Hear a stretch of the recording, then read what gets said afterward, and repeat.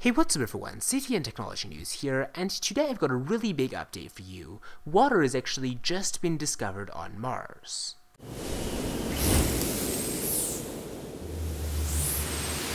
So scientists have spent years hunting for water on the red planet, and they suspected for a while that certain dark streaks on Mars were caused by water. Today NASA announced that they found the right chemical evidence to support that process, where salts called perchlorates could make Martian water stay liquid instead of evaporating immediately like it usually does. Scientists have known about water on Mars in the ice caps for several years now, but proof of liquid water on the red planet will have major ramifications for future study.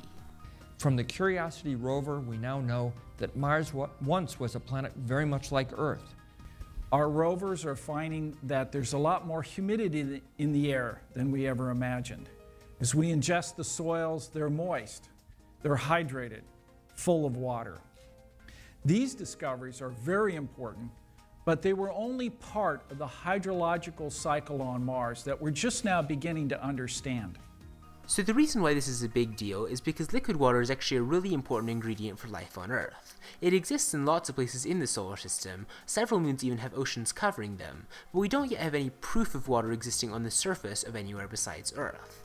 If parts of Mars are muddy, that could mean that those parts are less barren than the rest of the planet, and there could potentially even be microbes in there, however unlikely that may seem.